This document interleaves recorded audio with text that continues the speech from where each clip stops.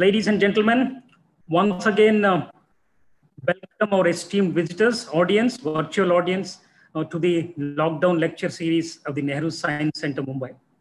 Um, on behalf of the Nehru Science Center, uh, National Council of Science Museum, the Ministry of Culture, Government of India, it gives me immense pleasure to welcome um, today's um, distinguished speaker, uh, Professor B.N. Jagtap, who is a senior faculty member in the Department of Physics, um, right now in the esteemed Indian Institute of IIT Bombay. Um, before joining IIT Bombay, mm, Professor Jagtap sir uh, actually worked as a distinguished scientist and director uh, chemistry group at the Bhabha Atomic Research Center, Mumbai. Um, he's recipient of uh, awards and honors, including Homi Bhabha Award for Science and Technology, Senior Visiting Fellow of the Center for Chemical Physics, uh, Canada, Professor Rai Dastidar uh, Award for Atomic and Molecular Physics, Platinum Jubilee Lecture Award for Indian, Indian Science Congress. I mean, he's a um, highly distinguished speaker. We're extremely honored that uh, he is here.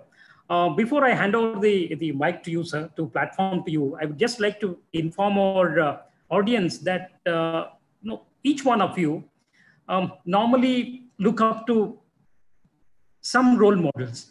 In, the, in science, one if one has to look out for the role models, the highest one are those who have got the, the coveted uh, Nobel Prize. For example, C.V. Raman from, in, from India. He got the Nobel Prize. So, sir, and from the other side, from I mean, one is from the sciences side. Other side, uh, we have you know this uh, the Bharat Ratna, Padma Vibhushan, and things like that. But when it comes to services, uh, we have the Indian UPSC exams have just been announced. People all look up to those uh, the people who have got uh, the high ranking civil service people. So before the Indian Administrative Service came into picture, we got the Indian I mean uh, independence.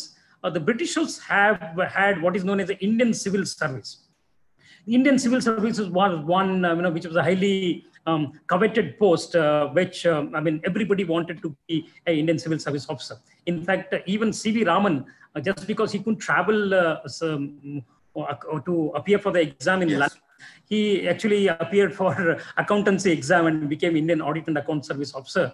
Uh, but our own, I mean, mm, there are several such examples. Sir has got a beautiful connect between uh, the Nobel Prize uh, in Chemistry in 1908 and the Indian Civil Service exam of um, um, 1895.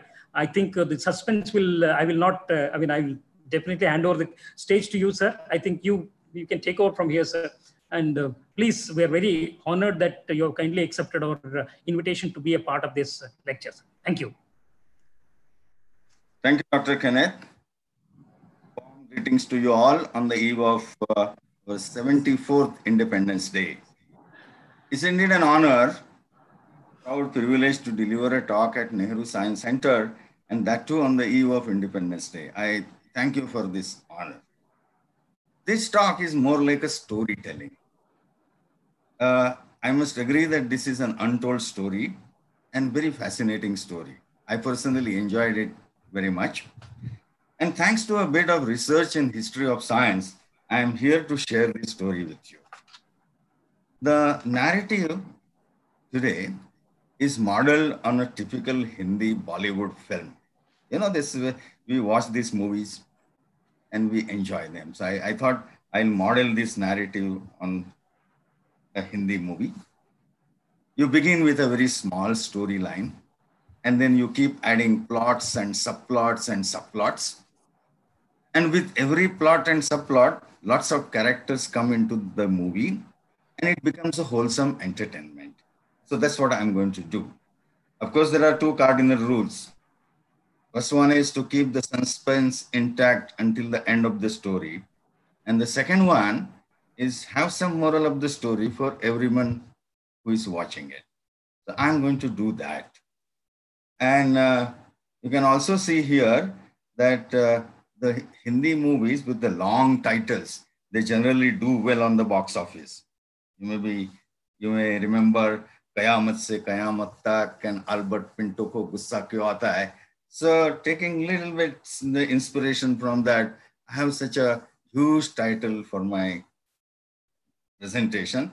So certainly it will go well on the box office.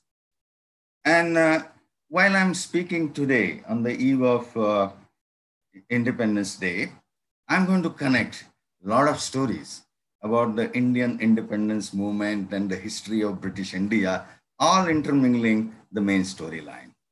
So let's begin. Uh, the first, let me introduce you to the settings. Now, from the title, you know there are two settings here, which I'm going to use.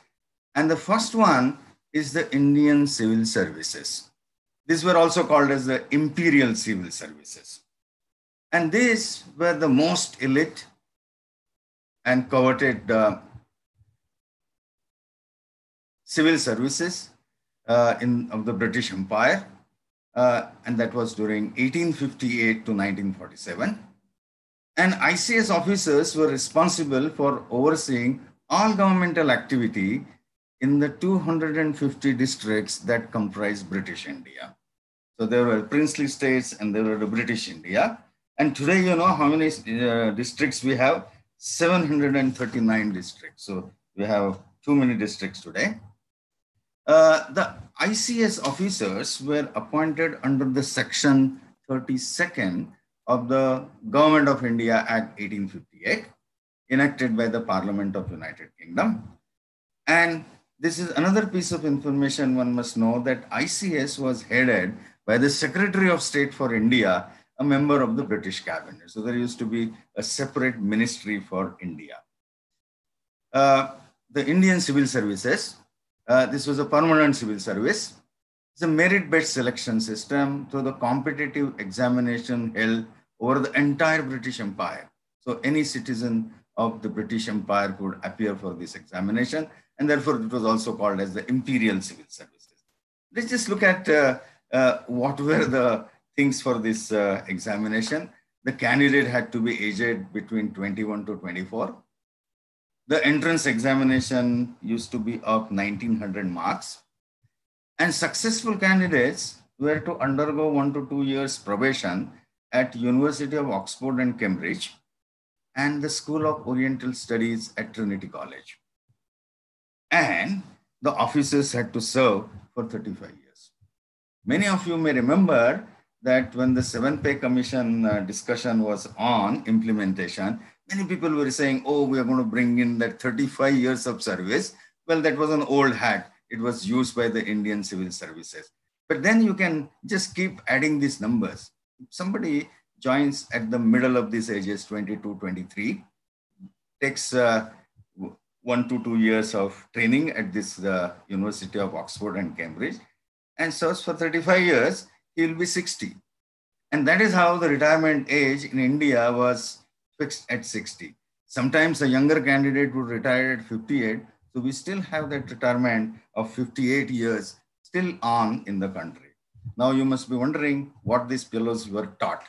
Criminal law, law of evidence, institutions of India, revenue system, Indian history, and the language of the province.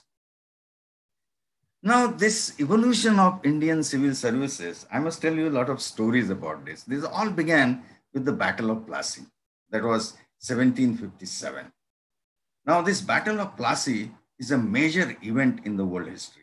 However, we Indians do not give that sort of an importance to this. Well, this battle, the end, at the end of this battle, this was the beginning of colonization of India as well as Asia and African countries. This is a major event. Uh, you know the story. There was uh, the Nawab of Bengal was Siraj Uddaulah, and it was a fight between, it was a war between Siraj Uddaulah and Robert Clive, who represented British East India Company. Uh, Siraj Uddaulah's uh, commander-in-chief was Mir Jafar Ali Khan, who defected in the middle of the battleground. And Siraj Uddaulah's 50,000 uh, strong army was defeated by 3,000 men of Robert Clive. The battle lasted for 11 hours. And that is all, and that is where the colonization of India began. It was to happen, you know, and in 1757, India was contributing 25% to the world GDP, whereas England was contributing only 1.8%. So these events were there, but we were not very uh, particularly thinking at the world level. Now, there is another story, interesting story that somebody might tell you that uh, this war took place in June. There were a lot of rains in Bengal that time. And uh, Robert Clive had, uh, he had a foresight of uh, taking tarpaulins along with him so that he can keep the gunpowder dry. Whereas uh, uh, Siraj Uddaulah did not have that foresight. So finally, the Siraj Uddaulah was killed and Mir Jafar was installed as Nawab as the British puppet. And in turn, Robert Clive and the British East India Company was declared as the Diwan of Bengal. Now you remember, now you understand the story in a different perspective. Before the Battle of Plassey, there was only one Nawab. But once the British East India Company became Diwan and uh, uh, later the Nawab of Bengal, every employee of British East India Company was behaving like Nawab. How do you sustain the aspirations of so many Nawabs? And that ended in a lot of corruption, plundering, and atrocities on the people of Bengal. And this is where uh, the Indian services begin. The 1757, the East India Company created covenanted civil service whose members signed covenants with the company's board of directors. And there were so many atrocities that uh, this Battle of Plassey and these atrocities have another connection with, the, with America. Uh, in 1771, we had the big, great Bengal famine. And the number of people died in that famine were somewhere between 4 million to 10 million. It's a huge number. No one talks about it. And uh, these atrocities which happened in Bengal, they were on day-to-day basis were communicated in America. And that time, America was fighting its own war of independence. The settlers were using this information from Bengal and trying to convince the fellow members that, look, if the British can do this sort of atrocities on the people of India, then if they rule us, this is all going to be our fate. And that uh, gave rise to an added uh, spirit to the battle, the War of Independence in America, and the America got the independence in 1776. This connectivity of uh, the Battle of Plassey and the first war, the War of Independence, American War of Independence, needs to be established. Now, because of these atrocities and so many things which are happy, which are happening in the British East India Company, 1773 British Parliament enacted Regulation Act, and which established the post of Governor General. And this act was short-lived. In 1784, you had the Pitt's India Law, established the principle of governance in India. And this is where the Lord Cornwallis split the bureaucracy in two parts. One is the political branch that was to needle the kings and a commercial branch. That's for the trade.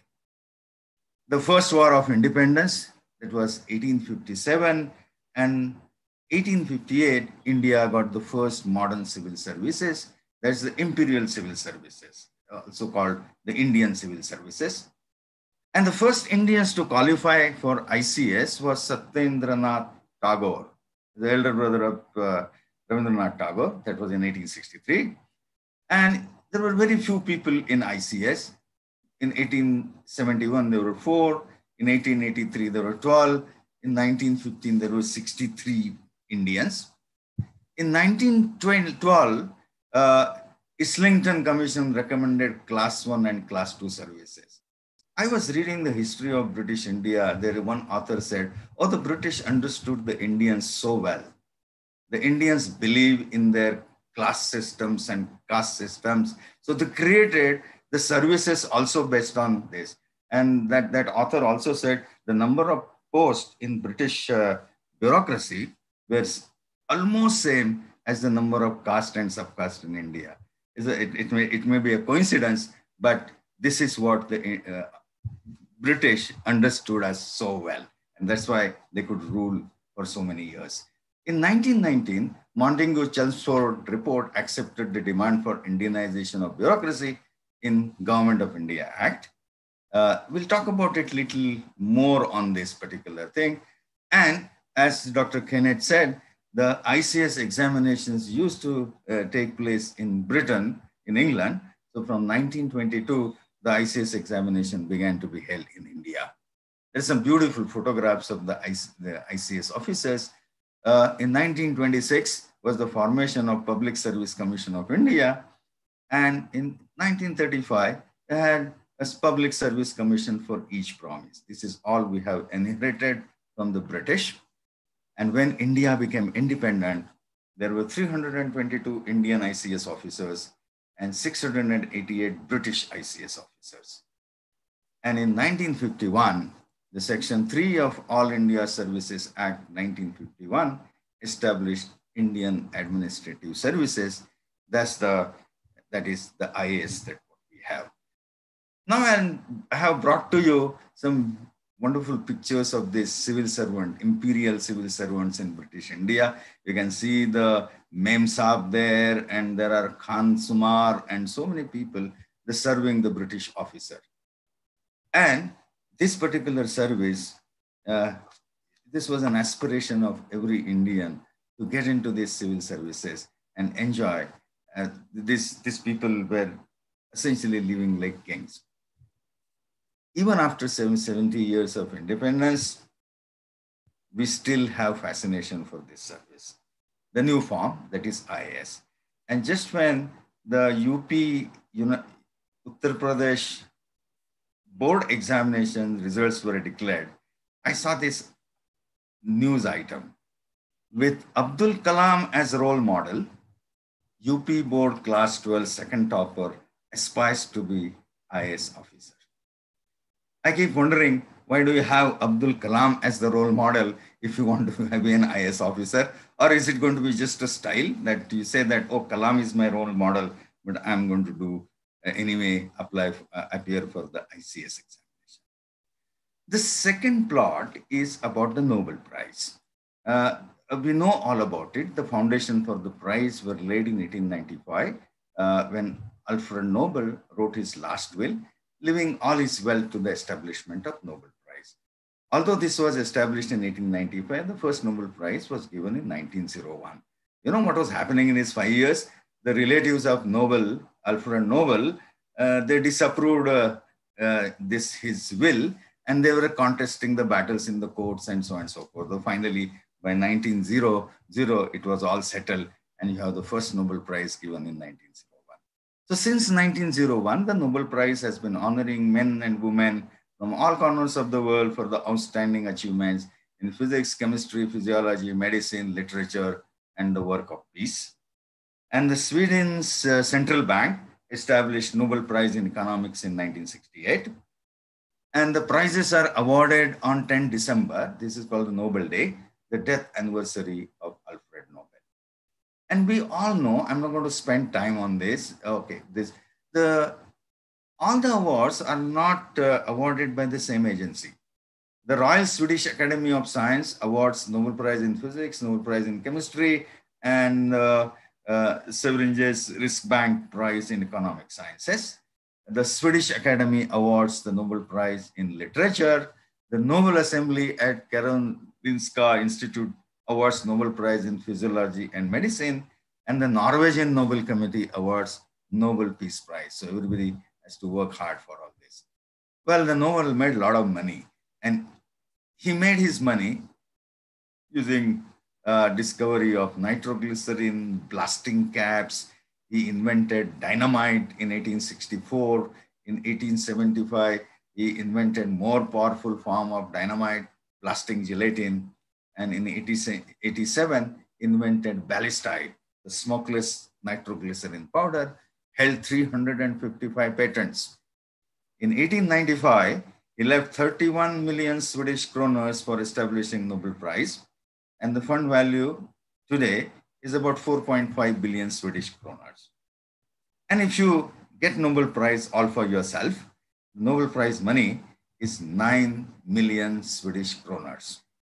And the exchange rate is here, one Swedish kroner is 8.62. So remember, if you get the full share of Nobel Prize, it's going to be about 8 crores, rupees 8 crores. Remember that number, we'll use it at some point later. There are some interesting facts about Nobel Prize. There were years when the Nobel Prizes were not given. And most of them are the war years, First World War as well as the Second World War, against in 1916, 1917, 1919, 1940, 1941, so on and so forth. However, there is one distinct uh, year here. You can look at the Nobel Prize for Peace, 1948. It was not given in 1948. And that was in the honor of Mahatma Gandhi. You all know that Mahatma Gandhi was first time nominated for Nobel Prize in 1937. It was not considered. Then second time he was nominated in 1947. And that nomination was received by the Nobel Committee through a telegram sent by B.G. Kher, who was uh, Prime Minister of Bombay Presidency, then Mavalankar, who was the Speaker of uh, National Assembly, and Govind Vallabh Pant, was the pre Premier of uh, uh, United Province. Uh, but it was not taken care.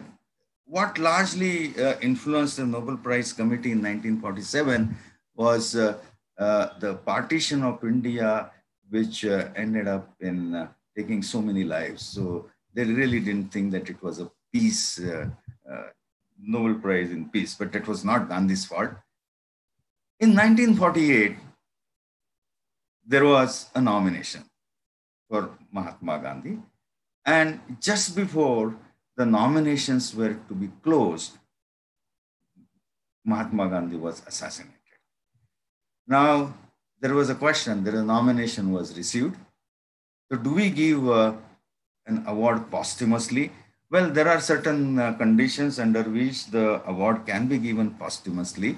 That is, if the Nobel Prize Committee takes a decision to award a Nobel Prize to a person and then the person dies, in that case, the award can be given posthumously. In this particular case, the Nobel Prize Committee had not taken a decision. So while they discussed it, uh, they also said that, well, it can be given posthumously provided Mahatma Gandhi has some organization or, or has some will. However, uh, there was no will, and therefore they decided that uh, we will not give Peace Nobel Prize in 1948. Uh, and the statement uh, that was issued that there is no suitable living candidate to award Nobel Prize in Peace in 1948. And uh, one of the comment in the Nobel uh, Committee was, in this respect, Gandhi can only be compared to the founders of religions. So this is the kind of uh, glowing tribute the Nobel Prize Committee had. Now, later in 1989, Dalai Lama received the Nobel Prize for Peace.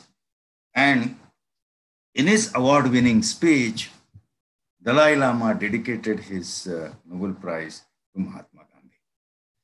Well, there are people who got multiple Nobel Prizes. John Bardeen got for physics twice, Marie Curie twice, Linus Pauling once for chemistry and once for peace, and uh, Sanger got twice for chemistry. This is a very interesting story about John Bardeen. Customarily, a Nobel Prize winner is supposed to take his spouse for the Nobel Prize award ceremony. But this John Bardeen was more like Indian. He was more interested in his children's studies. So he told his wife that you take care of the children's studies. I will go and receive the Nobel Prize. So when he was went for receiving the Nobel Prize, the King of Sweden asked, where is your better half? And John Bardeen had no answer. He said, okay, I'll bring her next time. So he had to work hard and get his second Nobel Prize. That was in 1972. Uh, this particular thing is uh, what is happening in the recent times. You know, the age of Nobel laureates, average age is 59 years. The youngest is 17 years, Malala. That was for peace. In physics, it is 25 years, Bragg. However, oldest, we are now going to the the Nobel Prize for older people. 97 years. John Gurren for the Chemistry Nobel Prize 2019. for the lithium ion battery. 96 years, Arthur Ashkin, physics, 2018 Nobel Prize, optical traps. The 90 is uh, for the economics Nobel Prize, 88 years, Raymond Davis for physics, 2002. And uh, Nambu, he should have got it much, much earlier, got it at the age of 87 years, the Physics Nobel Prize in 2008. The time between discovery and award, well, the average time is 20 to 30 years. If you do work today, you can expect it sometime within 20 to 30 years. The longest was uh, the Physiology Nobel Prize. It was awarded in 1966 for the work done in 1910. So after 56 years, the shortest because this record nobody can break. Yang and Lee received the Nobel Prize in 1957 for the work done in 1956. We also know that there are people who turned down the Nobel Prize. You remember Bob Dylan in 2016. Of course, there are plenty other people like Sartre declined in 1964. The Vietnamese leader Tho declined in 1973. Boris Pasternak, he declined under pressure in 1958 and accepted, but later it was accepted by his son in 1889. Very interesting fact, the Jews account for 20% of the Nobel Prize winners, despite being only 0.2% of the world population. And for us, the numbers are exactly reversed. We account for 20% of the population and we have less than 0.2% of the Nobel Prizes. And there are only 53 Nobel Prize winners are women out of 923 prize winners till 2009. And if you want to know where these women Nobel Prize winners belong to, the peace 17, literature 15, physiology, medicine 12, chemistry 5, physics 2, and economics 2. Now, so therefore, when you go to a college, you go to a university, you talk to this woman and say, that you work hard and you try to get a Nobel Prize. Professor C. Raman said that, well, if the women of India take to science, they can do much better science than what men can do. Science requires quality, which is called devotion. It's a passport for doing good science, and women have it in plenty. So sensitize the women. If any one of them get Nobel Prize, it will add one to the kitty of women and also add one to the kitty of India. So it will be a double benefit. Now what I'm going to start the storytelling and there are three and a half characters in this particular story. And this particular terminology I have taken from the history of Deccan in the 18th century. In the 18th century on the Deccan, there were three and a half wise men. One wise man was defined as somebody who is good in diplomacy and also good in warfare, could uh, uh, play with the swords or the guns as well as he can strategize. So there were full wise men, three, and there was Nana Fadnavis, who did not know the art of uh, fighting, but he was a great strategist. So he was a half man. So I have exactly like this three and a half men in this story. So let me turn to the first character and introduce these characters to you. The first character is Rutherford. He is the person who got Nobel Prize in Chemistry 1908. Well, uh, during 1890 to 1894, he studied at Canterbury College, New Zealand. 1895, he was awarded scholarship to do research under J.J. Thomson at Cambridge, worked on the electrical conduction of gases and radioactivity. In 1898, joined McGill University, Canada, discovered radon with Harriet Brooks as his student, and the spontaneous uh, radioactive decay with his student Frederick Soddy. 1907, joined Manchester University, showed that the alpha particle were doubly ionized helium atoms. 1911 is the celebrated scattering experiment, and he proposed the stationary atomic model. He shifted to Cavendish Laboratory in 1990 and discovered proton. There are nice, interesting pictures of uh, Rutherford with J.J. Uh, Thomson, and there is uh, on the right-hand side, you can see the Rutherford in the, in the laboratory. Now, I must tell you a little story of the 1908 Nobel Prize in Chemistry. It's a subplot. When uh, Rutherford received the Nobel Prize, he was not very happy. And he expressed it in his Nobel lecture. What he said, I have dealt with many different transformations with various period of time, but the quickest that I have met was my own transformation in one moment from a physicist to a chemist. So physicist getting a Nobel Prize in chemistry, well, Rutherford was not happy about it. How did it happen? And this is what we'll, we'll see the games which are played in award committees and so on and so forth. Very interesting narration. This is also part of the open literature. The mystery of 1908 Nobel Prize in Chemistry. Uh, he was first nominated for Nobel Prize in 1907.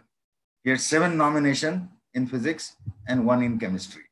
The nominators for the Physics Nobel Prize was Alfred Adolph Baer, Hermann Ebert, Czerny, you know, Czerny Turner Mount, Emil Fischer, Philips Lenard, Lennard Jones Potential, Max Planck, Emil Warburg. And the chemistry nominator was uh, Svante Arrhenius of Sweden. And he was a member of Nobel Prize Committee for Physics for 27 years. Now, the report of the Physics Committee, 1907 Nobel Prize, his observation of the decay of a chemical element should be awarded with the Chemical Nobel Prize. What a great uh, suggestion. Whereas the Chemistry Committee, 1907, said Rutherford has been nominated for his study of radioactivity by seven nominators for physics prize and one nominator for chemistry as well. This is understandable taking into account that Rutherford used physical methods while the results so far as they are concerned with the chemical elements must be considered to be of fundamental importance for chemistry as well. Well, he did not get. Both the reports were not in favor. So in 1907, the Nobel Prizes, Physics Nobel Prize went to A. A. Michelson, and the Chemistry Nobel Prize went to Büchner. In 1908, Rutherford had five nominations from physics and three in chemistry. The physics nominations were Arrhenius, Lenard, Max Planck, Warburg, and John Cox. And the Chemistry Nobel Prize nominators were three. Uh, well, Max Planck provided a recommendation which was not considered very strong. His recommendation read like, for his experiments and research on radioactivity, and for having to some extent swept away the blanket of darkness that still enwraps the nature of this place. To some extent, that word was not really very liked. The Oscar Widman, he said Rutherford should share the prize with his former student Frederick Soddy. So another, uh, whereas uh, Rudolf Wegscheider said that this Rutherfordian idea is of much importance to chemistry that I have no problem recommending him for the chemistry prize, even though he is a physicist. Now, this conflict kept on happening in the chemistry and physics committees. His own guru, J.J. Thomson, submitted a nomination for 1908, but it was received late and it was kept for 1909. Now, the report of the Physics Committee in 1908. Rutherford's work is more related to chemistry. And if the Academy should decide it is not proper to give him physics prize, he should be awarded 1908 chemistry prize. Whereas the chemistry committee submitted a 15 page report. Rutherford's theoretical work contains the formulation and development of the so-called decay hypothesis for describing the transformation of element and deducing the laws that govern them. He has proposed that the alphas are doubly charged helium atoms, has insisted on material nature of elimination process, and has done experiments to verify his hypothesis. Rutherford has shaken the foundations of chemistry by replacing its assumption of the immutability of chemical elements with a new and more general hypothesis.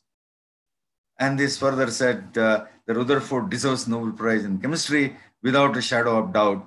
A more difficult question concerns whether any Rutherford's collaborator should share a prize with him.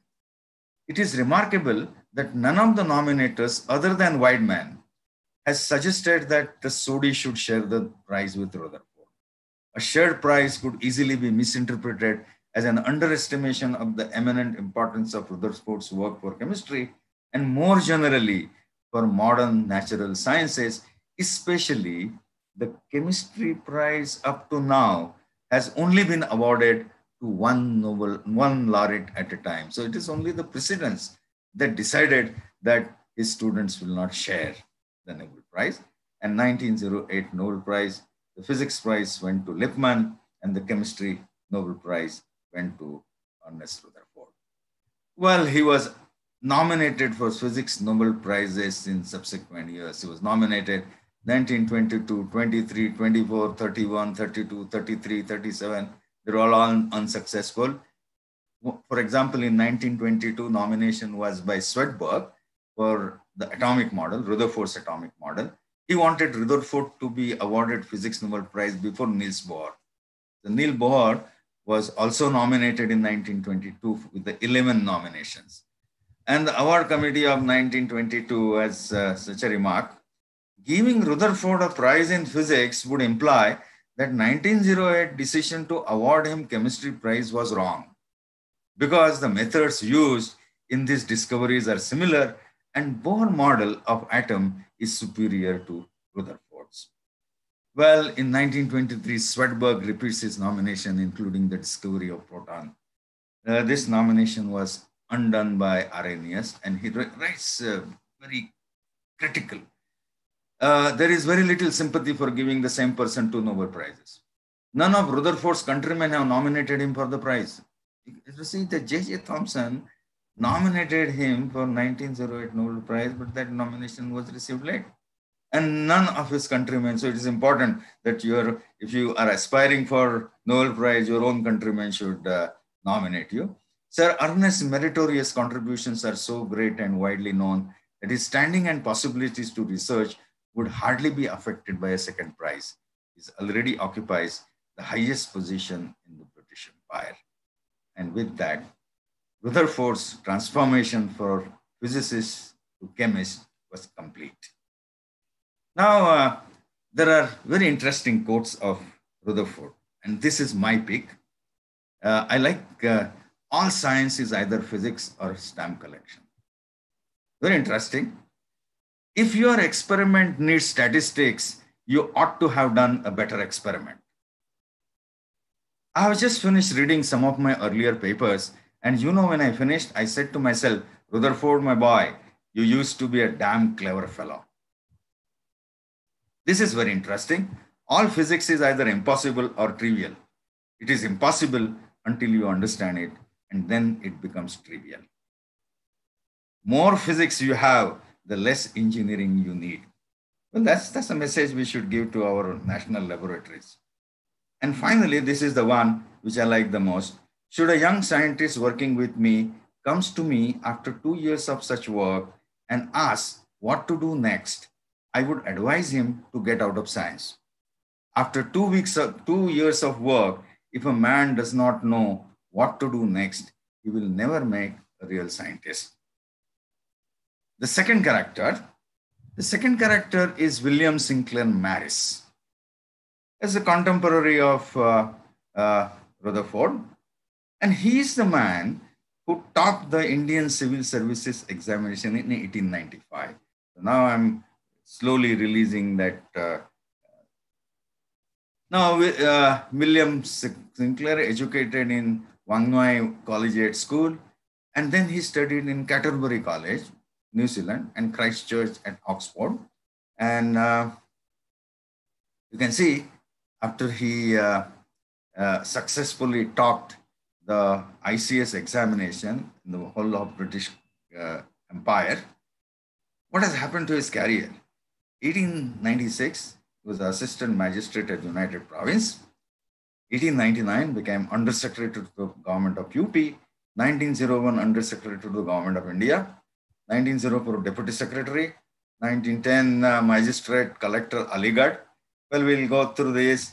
Uh, 1919 uh, joint secretary government of India reforms commissioner. 1921, Governor of Assam. 1922, Governor of United Province of Agra and Oudh. In 1928 to 29, he was a member of Council of India. And then from 1932 to 34, he was the Vice Chancellor of the Durham University as a translator of Homer, Odes of Horace, and so on and so forth. A very, very highly successful civil servant. And uh, this is where I have his uh, Who Was Who, 1941 to 50. And you can see here, Marris, Sir William Sinclair, uh, and so many things, so many positions he held. Uh, Vice Chancellor of Durham University, the publications, and so on and so forth some of which I showed you in the earlier slide. He was governor of United Province of Agra and. If you go to uh, those who are from Lucknow, you can recognize there is a Marris Road there. This is that Marris Road. It's from the Dargahbadi all the way to the center point. This is that Marris Road, Lucknow. And uh, Marris also drafted the report of Montagu Chelmsford Reform, which paved the way for Indianization of Indian civil services. I'll show you some more photographs. There is a Marris market in Lucknow. Today it is known as Khatak Sabji Market. So you know what is being sold there. And he also established Marris College of Music. It is uh, since 1960, it is called as the Bhatkhande University of Indian Music.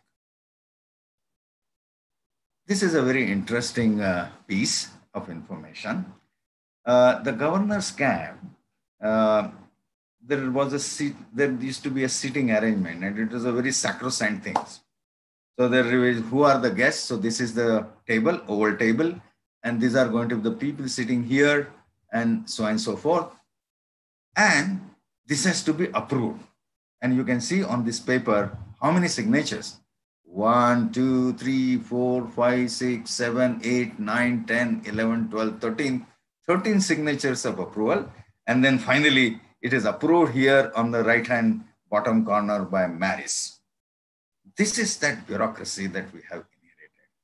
In my uh, tenure in the government service on the purchase file, I used to be aghast to see 32 signatures on a file.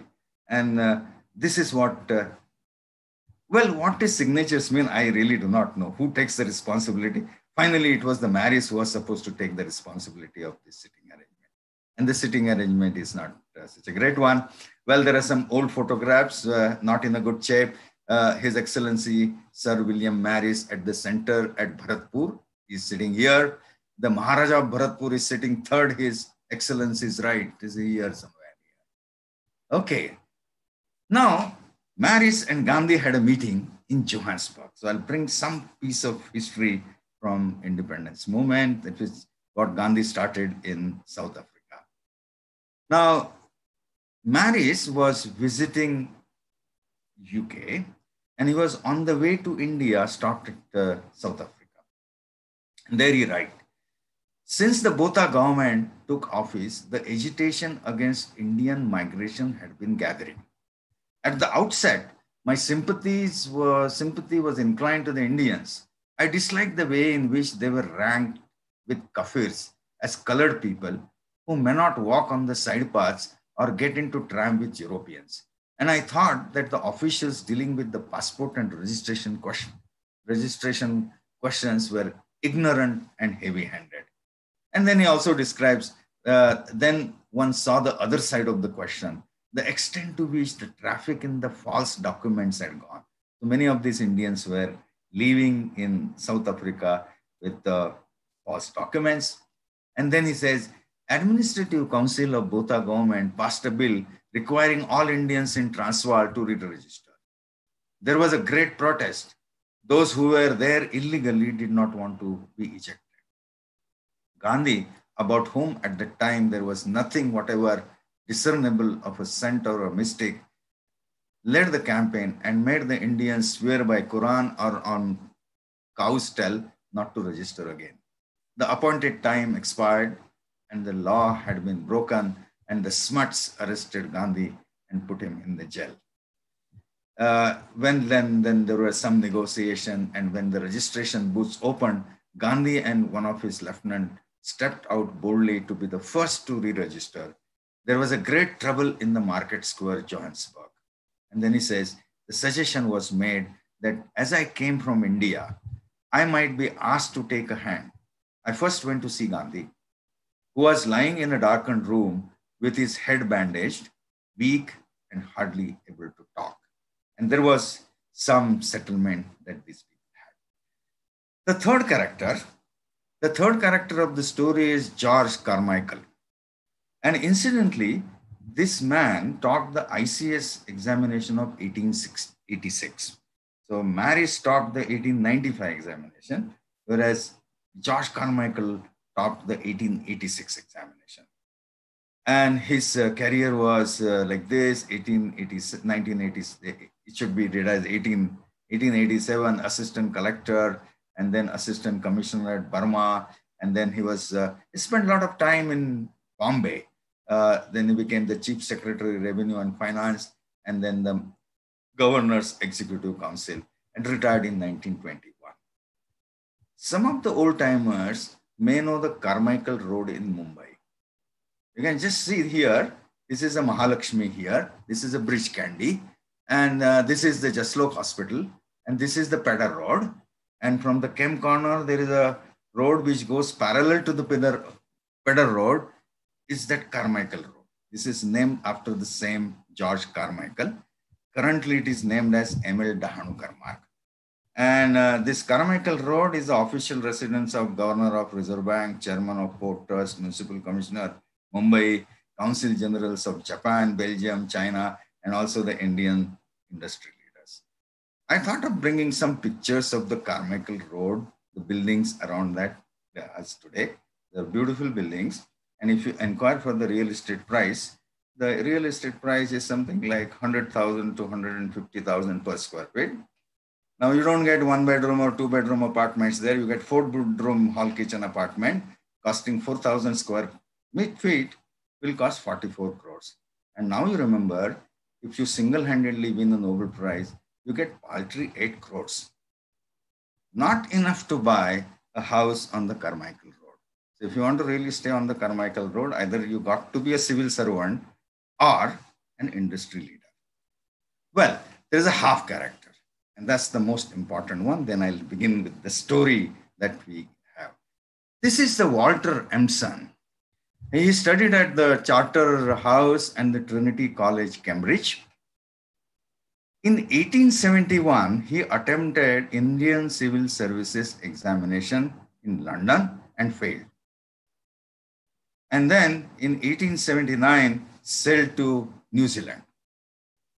In 1886, he joined Wanganui Collegiate School, Christchurch, and in 1988, he became principal. Now, George Carmichael was Empson's cousin. So now let's keep connecting the characters. And the Empson was teacher of William Marris at Wanganui College, New Zealand. And the storyline is really very small. The year 1886, Wanganui Collegiate School, New Zealand, Walter Empson as the teacher, and William Marris as student. April 1886, result of ICS London Open examination declared. Empson cousin George Carmichael had topped it. Empson's mind turned to an unusually gifted student of his collegiate school, 13-year-old William Sinclair Marris, popularly known as Willie. Empson describes details of prospects of ICS services in India. When Willie showed interest in the ICS, Empson told him, you go for the Indian Civil. And Empson plans for the studies of William Sinclair Marris. This was the year 1886. In the year 1890 to 93, the scene changes over to Canterbury College, Christchurch, New Zealand, with William Marris and Ernest Rutherford as students. Well, let me add something here. At a later stage, when William Marris was asked about Ernest Rutherford, do you know what he said? He said, Ernest Rutherford, in whom at that time was not apparent the genius that was to win him immortality as man of science and a grave in the Westminster Abbey. Every British person would like to be buried at that Westminster Abbey, the greatest honor for a British man. He was amiable and easy to live with, no player of games but a great walker, and with an engaging simplicity and lag, even compared with me of savoir faire. He and I together began to read conic sections and differential calculus. Never for a moment was there a question of Rutherford's superiority. He could solve problems that let me dazzled.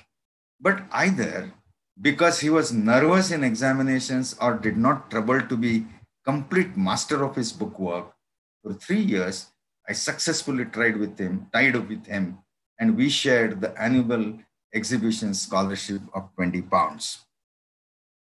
Now, in what context this was asked, we'll come to that little later. Then comes the year 1893. The scene is at Canterbury College, Christchurch, New Zealand. William Marris tops the class. And this is the list of uh, uh, students who qualified. And on the top, you can see here, William Sinclair Marris. And the second one is Ernest Rutherford. And there was one scholarship 1851 exhibition scholarship to do research under J.J. Thomson at Cambridge University. It was awarded to William Marris and not to Ernest Rutherford. Year 1894 to 95, well, Marris left for England to prepare for ICS open examination. Rutherford did research on electromagnetic signal, looked for a teaching position in New Zealand, but did not get one. And comes the year 1895. William Marris tops the list of successful candidates from the entire British Empire. That's here, this is the result. You can't see it's a very old document. This is a William Marris is the topper of the ICS examination. So in the year 1895, Marris joins the Indian Civil Services. And at that time, he leaves his claim on 1851 exhibition scholarship. And then, since Rutherford was number two, that scholarship was offered to Rutherford to work under J.J. Thomson at Cambridge. Down the line, Marris became a very highly successful civil servant. Rutherford, a gifted scientist who contributed so immensely to our understanding of the physical world, invented a large number of scientists who further contributed to what we know today about atoms and their behaviors. And as Marris said, he was buried at the Westminster Abbey, where the British heroes like Isaac Newton were buried. Marris, while giving those lines, was unhappy that he will never have a chance to be buried at the Westminster Abbey, like the Rutherford. This is where the story ends. This is William Marris, governor of United Province, with his office staff at Lucknow. And this is Ernest Rutherford in the company of Nobel laureates. Friends, there are too many questions that you can ask. I'm not going to answer those questions. You can answer for this. If Ma- Marris had not got into the Indian civil services, and if he had joined J.J. Thomson, would he have the same atomic model? Well, some people will say that the atomic model was a necessity of that time. So whether it was Marris or whether it was Rutherford, somebody would have been there, some Rutherford would have been there, would have invented that model. Well, we do not know. Second one, Second question you can ask, how much a teacher influences a student in the formative years? And that example which I showed you, the topper of a UP board, his teachers also must be like that Empson. Telling the brightest of the kids every day that you appear for the Indian civil services or Indian administrative service. So on the face of it, you worship Kalam, but at the bottom of your heart, you have the aspiration to go for this IAS examination. This is the role of teachers. What we have been doing is we as scientists and professors, we are taking this message of science to the people, but this message goes to those people who have crossed that formative age. And this is where we need a different perspective. The third, another thing is science always had competitive professions. You remember when uh, Paul Dirac wanted to do PhD in physics, his father asked me, you go all over Europe and find out how many positions for professor of physics exist in Europe, and then take the decision. So science always had a competition. It was not a first choice. And in this case, for William Marris, one of the brilliant bureaucrat, he could have gone to J.J. Thomson, but he waited for his result of Indian Civil Services and decided to continue and decided to go for bureaucracy. So this conflict always exists. And therefore, howsoever you try, I have been now finally a word that I have been also discussing with many people. And there are lots of conferences and discussions take place. How do we attract students to science? And people have all kinds of suggestions. And I have only one suggestion. I tell them that look, the students of today are going to choose a profession that gives them money. If I can teach my PhD student how to make money with the research that he has done, the brightest of the people will come to do science. With that, I acknowledge. Uh, now, this is where the much of the research on the history of this, this storyline was done by Dr. B.C. Pandey, Lucknow. I helped him a little bit. In fact, he wrote a book, Sir uh, William Sinclair Marris, and he has thanked me in that in the preface. Uh, then uh, you can get all the information about Nobel Prizes in on this website. And there are beautiful volumes which, is, which are brought out by um, Vidya Bhavan, The History and Culture of India, 11 volumes written by R.C. Majumdar, must read for every one of us. And with that, thank you very much. Mm, thank you, sir. It was uh, truly fascinating, fascinating journey.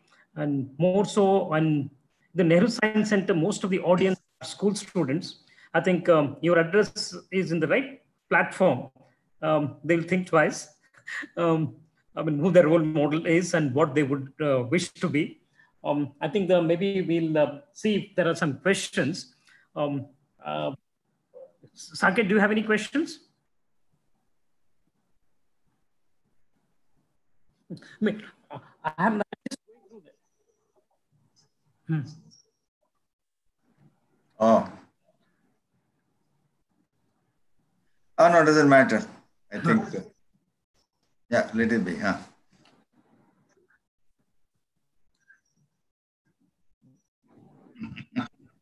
Okay. This is uh, something very fascinating because I mean, my colleague just now told me that um, uh, there are no questions, uh, but everyone is telling that we should have more lectures from uh, Professor Jagtap. Um, it's very fascinating. It's uh, really been uh, very, I think each one of them are very happy about the lecture that you've given, sir. Um, it, it, will immensely motivate them. Um, since we have the um, Independence Day tomorrow, um, I'll also share, since sir has shared one so much of information about the Nobel Prize and the ICS, Alan Turing, who is considered as the, the father of the, the modern computers, he has a great connect with the civil services. His father and both his, you know, his wife's father, they were again Indian civil servants working here in India.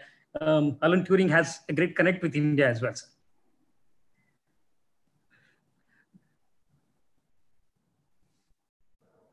Any any other questions, uh, Saket? No.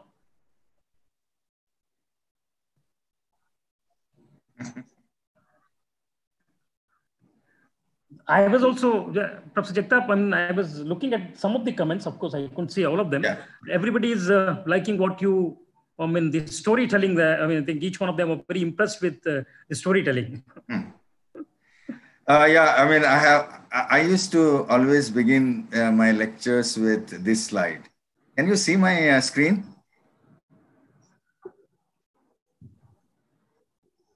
Okay. Uh, see, we all, always give the evening talks. And then I've been telling my friends, the senior people, look, what is the meaning of an evening talk? And this is what the picture which I show. A study of evening campfire conversation by Ju Hoan people of Namibia and Botswana suggests that by extending the day, the fire allowed people to unleash their imagination and tell stories rather than merely focus on the mundane topics. So the evening talks should, should not be on uh, oh, the role of uh, these uh, uh, non-conventional energy sources in India and all. These are very serious talks. Talks should be such where both the speaker as well as the uh, listeners, they can unleash their imagination. And there is a storytelling and that at the end, everyone enjoys. And that, that should be the style for the evening talks. Thank you very much.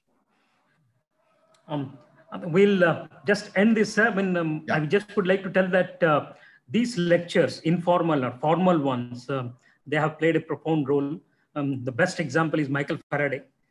Yes. I think who better to be have been uh, the great scientist that he is, and we all yes. remember him for that. Yes. Um, again, he was uh, a beneficiary of the the Royal Society lectures, which he now are known in his name as the Michael Faraday Royal Society lectures. I'm sure your lecture, um, which of course has been seen by some of the, the people online, uh, since it's going to be on our YouTube channel, there will be many, many more students who will be seeing. And let's hope that uh, some of the people um, who are toppers think twice as to whether they will go for science or civil service, depending on what uh, is uh, fascinating to them. And hopefully, we let's expect that some of them, the real bright ones, do opt for science and enjoy you know, the passion with which one can do science. Thank you very much, sir. On behalf of the Science Center, I would like to thank you.